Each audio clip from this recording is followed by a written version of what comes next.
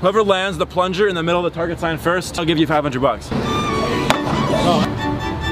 Oh, no! No! no.